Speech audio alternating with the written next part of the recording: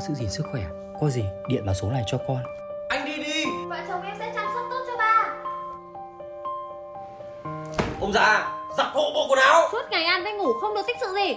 Ờ Già rồi còn lười. Để cháu giúp không Trẻ con biết gì mà giúp. Đi vào. Con ơi Ba thấy không khỏe. Con đưa ba đi khám. Cái gì? Ông không có chân à?